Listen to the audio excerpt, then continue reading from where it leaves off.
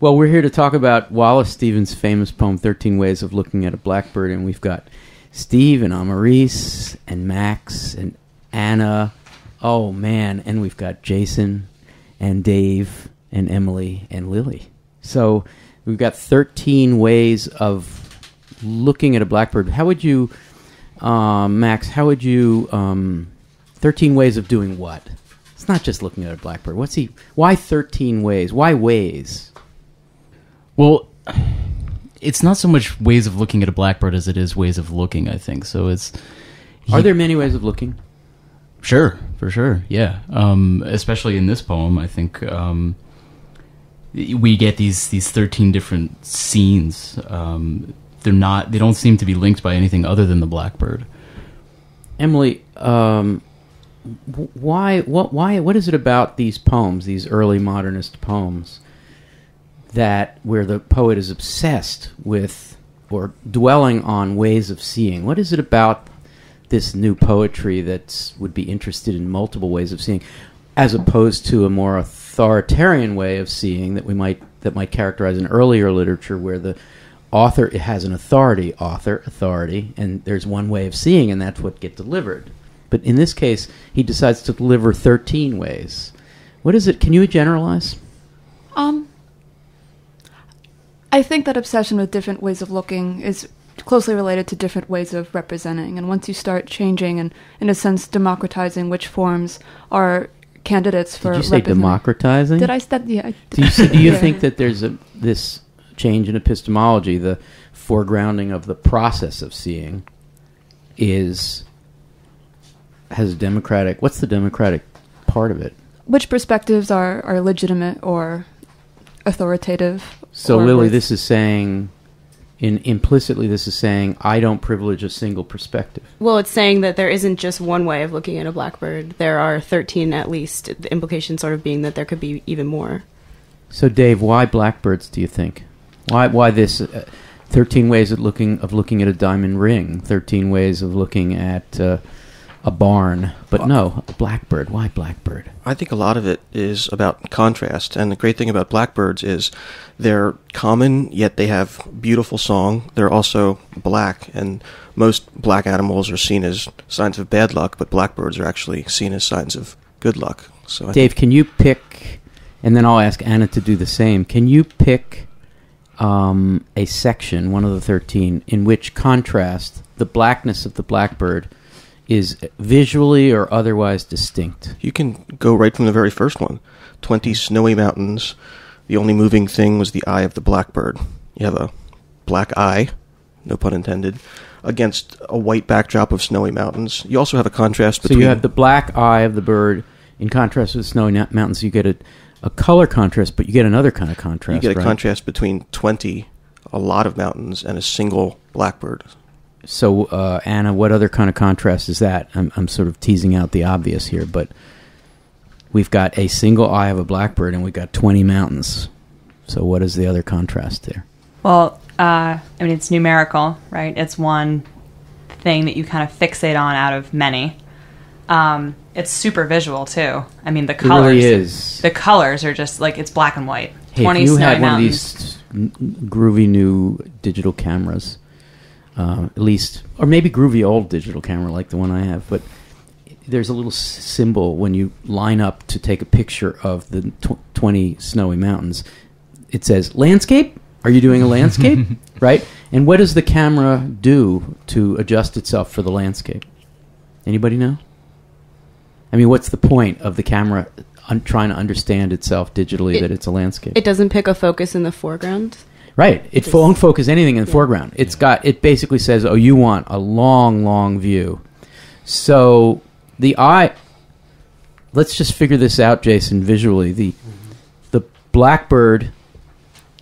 How could you see an eye of a bird, a tiny bird, and then a tinier part of a bird among snowy mountains? Where must it be situated in order to be seen like this? Well, it would be situated close close enough that we could see the eye. Right. Um, as well, there's the middle line where we have the only moving thing was the eye of the blackbird. And so 20 snowy mountains, no matter how majestic, are not.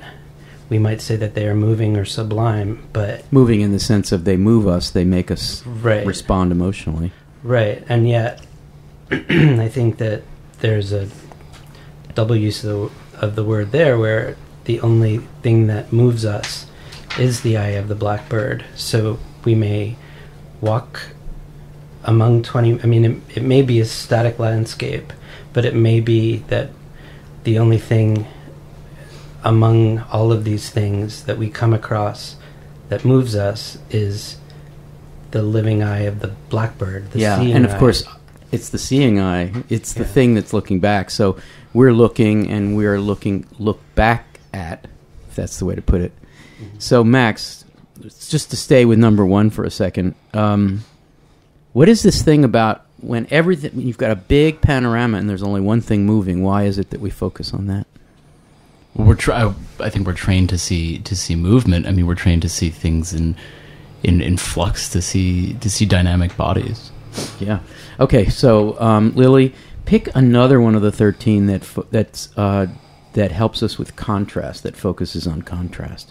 Because con- another way of saying contrast is juxtaposition. So before you pick another one, I'll put you on the spot. What what is it about juxtaposition that is imagistic? Because we've been talking about imagist poems, where you get juxtapositions in the wheelbarrow poem, which we'll get to, you know, at a certain point. We have the red wheelbarrow and the white chickens. So that's color juxtaposition. You've got inanimate and animate. Tell us about juxtaposition. Well, juxtapositions are cool because it lets the objects kind of define each other by the contrast that they provide to your Yeah, eye when you look at them. So the edges are less likely to be blurred, I guess, when you have something that's really obviously different from the thing that's next to it. Good. So pick pick one for contrast. Um, Any one at all. okay. Um, I guess another one for color contrast is icicles filled the long window with barbaric glass. So that's number six. Yeah. Shall I read it? Sh- sure. Okay. Six. Icicles filled the long window with barbaric glass. The shadow of the blackbird crossed it to and fro. The mood traced in the shadow an indecipherable cause. So I want you to comment on this, and I'll ask Steve to do the same. You get a minute to think about it, Steve. Go ahead, Lily. Well, there's a, there are a couple of interesting contrasts in that stanza. There's um, the difference between icicles, sort of like nature's glass, and windows, which would be like more domestic glass. Um, and the icicles are barbaric, and you can picture them as barbaric because they're pointy and jagged, as opposed to the window of your house, which is a very smooth pane that you wouldn't otherwise have thought.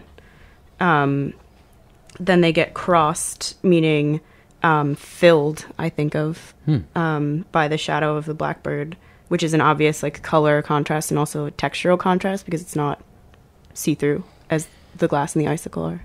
So, Steve, uh, six number six is a fairly complicated. If it's imagistic, it's complicated. Number one is very imagistic. It's only three lines. It's haiku-like.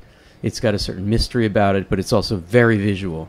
But six is not quite that. What would you? What do you do with six? Does it belong with the others, or is it rhetorically different?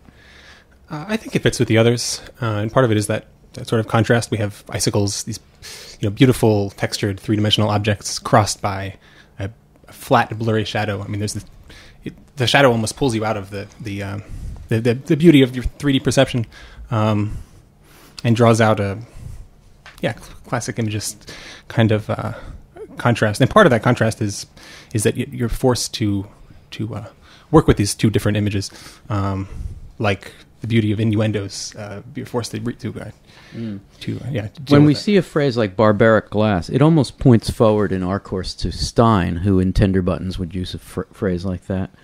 Okay, Amaris, I'm going to read a few of these shorter sections, and I'm going to stipulate that they're funny, that the blackbird's appearance is funny. Now, I'd be I could be wrong, but you you're you're the kind of person who appreciates funny things. I think, isn't that true? You have a really I hope good. I appreciate You have a really good sense of humor. So I'm going to read it I'm going to emphasize what I consider to be the comic appearance of the blackbird. He's kind of like Zelig. He's ubiquitous. He's he seems to show up in every scene, and that I might be wrong, but I'd love for you to comment on that. And then Max, who's smiling very much, can say a little more. Okay.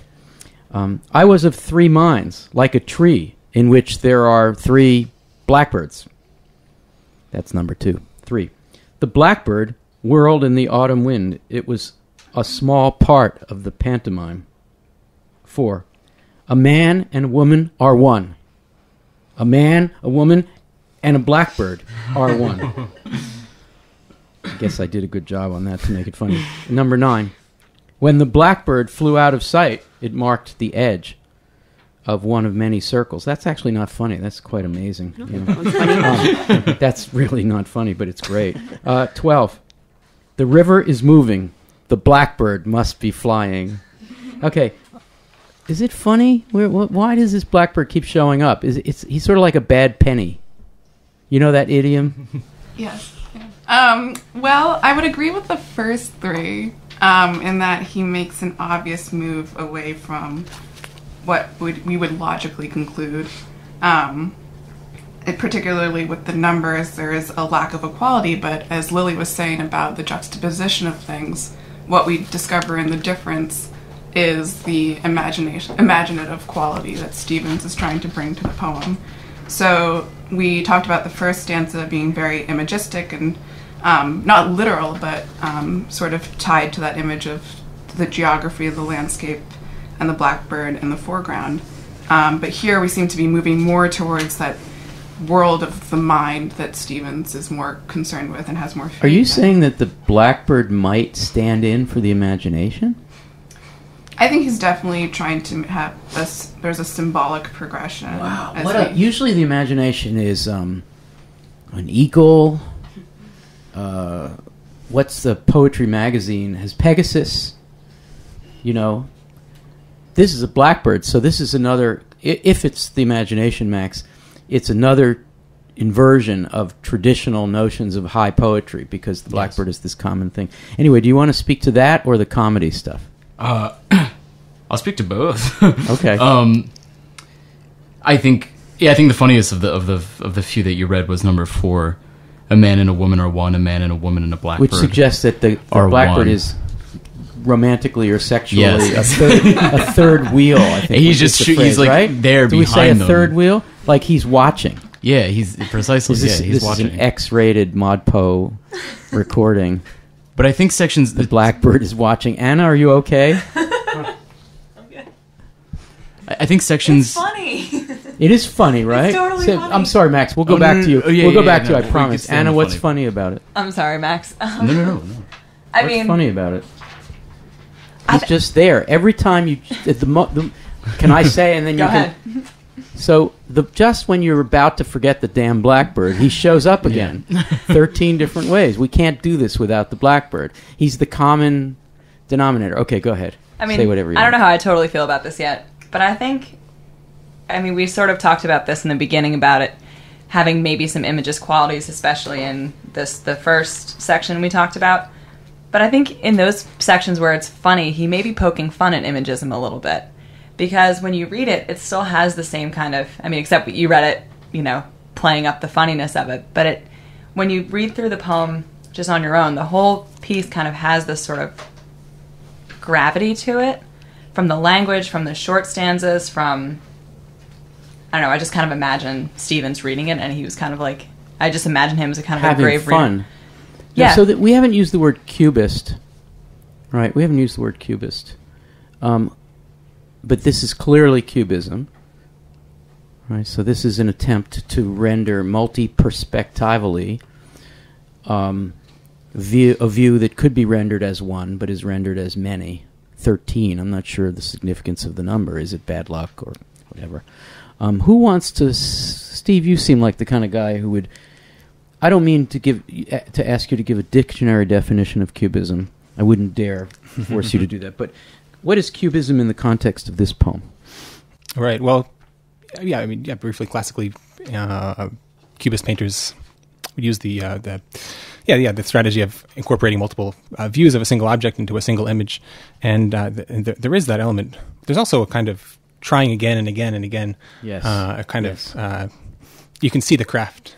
And So it, uh, it, it, again, a little anticipates Gertrude Stein for us in the sense that Stein will often and uh, William Carlos Williams in Portrait of a Lady, who tries to do it and then gets called up short, tries again and tries again, and instead of deleting all that, he leaves all that those tries. right, indeed, precisely.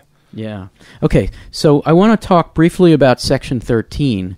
And then, simply because we're running out of time, but we could talk about this forever, I'll just go around and ask you each to just say one more thing about this poem that you wouldn't want people studying it for the first time to miss. So let's, I'll read 13, we'll talk about it, and then we'll, we'll go around the horn. Um, 13, this is my favorite. And it's not funny, I don't think. It was evening all afternoon. It was snowing and it was going to snow. The blackbird sat in the cedar limbs. So Anna's holding her heart. Oh. That's beautiful. Why? Why is it beautiful? It's contradictory. It's paradoxical.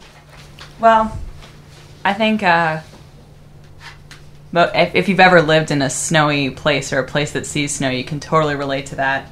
It was evening all afternoon. That kind of like A storm. on a snowy day gets Yeah. like dark at three o'clock, Yes, very good. and it's just kind of dark all afternoon. And all you want to do is just What about like- it was snowing and it was going to snow? That's a paradox, but maybe not, Dave. I like how it plays with the linearity of, of time a little bit. It, it, it's in the present, but it somehow knows the future. And in a sense, it takes the blackbird and he's perched, sitting there, looking beyond time. Emily the Blackbird is finally static in this. Been he's he's really had a, a long day, thirteen different scenes. Like I can see Steven saying, "Blackbird, come in. I want you to go there. Move, d- please dart through this scene. No, no, let's take two. Let's do it again." You know, he's sort of this Blackbird's been through his paces, and now finally, he's just hunkered down. Um, do you have anything to say about the stillness of the Blackbird at the end? Is that appropriate, Emily? I do. It's, so there's something almost, if we're going to go with the humorous theme, there's something a little bit smug about this little creep of a blackbird just like sort of perched on Did you call him a creep? limb. Yeah, he's just a little bit of a creep. He's a little bit of a And, creep. um, he's in the way. yeah. He's in our faces. especially to the man and the woman. And there's something so almost banal about this blackbird just doing a sort of ordinary and, and uncomplicated thing, like sitting in this tree in the midst of all these sort of paradoxes and contradictions. Thank you. I'd also say that there's a there's a reversal of the uh, and think about William Carlos Williams' poem "Lines," which reverses the natural and the artificial. All right, so we commonly think of the natural as bright, and in that poem, Williams reverses it.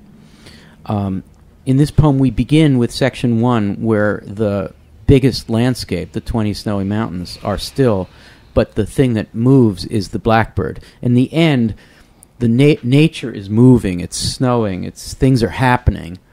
Um, and it's the blackbird that's still. So there's there's there's a reversal. There's a foregrounding and a, what's the opposite of foregrounding? Backgrounding. All right. So what we're going to do is we're going to go around. We'll start with Amaris and go all the way around to Steve. Say one thing briefly about this poem that you wouldn't want people to miss that hasn't been said, and it may simply be you know something about your favorite stanza. So Amaris. I mean, it's nice that we just came around to that because I was just reflecting on the connection between this the moving image in the first stanza and the static image at the end. And if we go back to what I was talking about, um, the symbolic progression throughout the poem, then it seems that we've started at the natural image and moved to the mental or imaginary image at the end. But there's a certain sadness to the fact that it's um, static, and it brings me to stanza nine, which we, I think, we all found very beautiful, which is when the blackbird flew out of sight and marked the edge of one of many circles, and there seems to be this need to circle between the imagination and the reality that's in front of us. I'm so Ah. glad you mentioned that section because that's the one section where the blackbird actually is imagined as not Yeah. there. Exactly. Yeah, that's terrific. Max, a final thought on this, real quick. Uh, yeah, I just wanted to comment on on what Amaris said about the symbolic progression, and I think that's such a, and also what we said earlier about how the blackbird stands in for the imagination, because I think the the symbolic progression here of the blackbird is such a lovely way of thinking about the imagination. He sort of starts as this this this empty signifier that's just calling our attention to something, or or you know three three blackbirds equals three minds or something. But eventually he takes on this this character. He's voyeuristic. He's sort of he's sort of sexual and. um, I also though wanted to call attention to sections seven and eight, two sections that we didn't talk about, which to for me sort of form the the meta poetic center of this poem. Well, in the interest of time, I'll read eight, and you can comment on that. Of course, okay. yeah. I know noble accents and lucid, inescapable rhythms, but I know too that the blackbird is involved in what I know. That's, that's really great. The blackbird is the very thing that's that's stopping him, or at least making him self conscious about writing, say, in the inescapable rhythm of, of pentameter, or, or more formally or metrically. Once again, proving that it's much better to close read these poems with a lot of people because I would not have thought to say that, Max. Nice job. Anna, quickly, final word. Well, I'm going to go ahead and piggyback. Um, I think the I think eight um, saying that I know noble accents and lucid, inescapable rhythms. I think he's kind of getting at the sort of tradition of poetry, the traditional poetic canon that um, here he's kind of getting away from. It's like I'm not writing a sonnet about a blackbird. I'm not even writing 13 sonnets about a blackbird. Um, I'm not using the noble accents, and which makes me think of like I know them. I'm capable know of them, them. but but I know that. too. Ah, it's an interesting alternative. Very much like Picasso's progression as a painter too, right? Starting with depiction and ending up with well, not ending up, but moving toward cubism. definitely. Good point, Jason.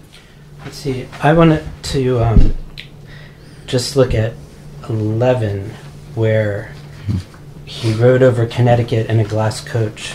Once a fear pierced him, and that he mistook the shadow of his equipage. Equipage. Equipage. So that's the um, His Carriage. that's the carriage equipment, Right. yeah, the vehicle. He, he mistook the shadow of of his equipage for blackbirds. So I mean, it is not the man who mistook his wife for a hat, but it is. Um, there is the sense that this shadow is more than a shadow. It is blackbirds, but but that is a mistake. So, um, the way in which the blackbirds, I mean, as I as I look at the whole poem, I want to see every V in the Roman numerals, or I mean, as as I move through, I want to see every every letter as a As a blackbird. blackbird. that was great. Can I add a, an extra reading to that? That's terrific. Um, that's a famous section, silly in a way. But what's happening there, if I can be really mundane about it, is we've got, you know, the poet or you know some poet figure driving, probably not in a glass coach, but driving across Connecticut in this somewhat blank landscape, and looking to the side of the car, you see the car's shadow moving along. You know how it kind of ripples along the side, and if you go up, there's a bank, and the, the shadow will kind of move. Mm-hmm. And in a way, what he does is he imagines that the blackbird is kind of following him along, and that he's not casting a shadow from the car, but that the blackbird is accompanying him, and that's how we get the blackbird in this final 11th hour appearance in that one. The blackbird is not there but it's in a way following him along. It's sort of like an alter ego shadow of the man S- secret sharer as conrad would put it so it's pretty it's spooky and cool and i love the idea that there are blackbirds all over this poem all right dave real quick final word in that stanza, I think it's also interesting that it's a glass coach. And the, the previous time we saw glass in the poem, it was barbaric glass. So I think there he sets up another fun, a fun dichotomy. Yeah, great. Okay, Emily, we're going to skip you and give you the final final word because that's just what you do. Uh, Lily, Um, well, thinking back to what you said about the first stanza and the last stanza as like companions that are almost almost undo or um, do the opposite thing of each other. I think that three and eleven are um, are similar in that in three um, it's the blackbird world and the autumn winds. It was a small part of the pantomime, and then um, in 12 the river is moving the blackbird must be flying. And you had highlighted that as a funny stanza. But i actually think that the two make a lot of sense together because to me the pantomime aspect is like looking at something out a window when everything is really silent. So you can't necessarily hear the river moving or the wind blowing but you just can see the blackbird moving and it's a small part, but it's still the part you're focusing on. But in the same way that we start with focusing on the blackbird in stanza one, or in the first part, and then end by focusing on nature in the last stanza. I think the same thing with three and twelve, where in three you're focusing on the blackbirds whirling, but in twelve you only think of the blackbird once you see the river moving when you look outside. Great. Thank you, Lily. Steve. Uh, I'll just note quickly that this is a great example of a real object lesson in picking the right form for uh, for your content. If you write one twee haiku-like poem about a blackbird, it may not be that memorable, but but this. Did you say twee? Certainly. I did say twee. Some of these are more twee There's, than it's others. almost the blackbird is almost capable of saying twee himself. Isn't he? Oh, that's so true. Well, anyway, uh, well there you go. And, and but in this structure, it's become um, you know a monumental classic It really has and yeah. imitated a million times. He he had Wallace Stevens had the right instinct not to do the pure imagist thing of a haiku. You know, it's really this is not a station of the metro. Mhm. In that instance, what Pound does is he takes a nexus of experiences that are, are overwhelming him, and then through the process of revision, he renders it down to the littlest thing, the most condensed thing, and that's imagism more classic. In this case, Stevens allows 13 different ways to stand. Very different, although each element is imagistic to some degree. Overall, it's really doing something other than imagism, it's doing cubism. Emily, you get the final word. I'm sure there's you'll have something brilliant to say. Well, that's that's no pressure at all. As usual. um, we said that we could call this poem 13 Ways of Looking rather than just 13 Ways of Looking at a Blackbird, but I think we could also say that it's 13 Ways of Being. Because um, one of the most charming and maybe optimistic things about this poem's argument is it seems to be suggesting that by apprehending something beautiful, that we can sort of demolish the boundaries of individual subjectivity. Because we see not just the bird changing and becoming more dynamic and sort of shifting contextually, but the speaker of the poem changes to the point where, to some extent, well, we never really know who he is to begin with, but he becomes increasingly less recognizable. And in half of these sections, he's not even present. The eye isn't even present. And when it is, it's not really an eye as we can understand it. It's an eye which is sort of divided into this sort of triadic structure, or an eye which is also a man and a woman and a blackbird. And the idea that by sort of engaging with something beautiful, by sort of pursuing some type of aesthetic pleasure, that we can remove those boundaries between ourselves and others is sort of charming and, and lovely. Charming to say the least. Thank you, Emily. Does anybody have anything, to, any way of responding to Emily's brilliant final word? I do. that was great. I think an, a phrase for what you're describing might be radical subjectivity. This is post-romantic. This is not just romantic. That is in as in romanticism subjectivity. This is this is modernist subjectivity. So, well, this is this is a wonderful poem. I've I've this has been fun talking about it because I realize how much I like this poem and Wallace Stevens. Thank you very much.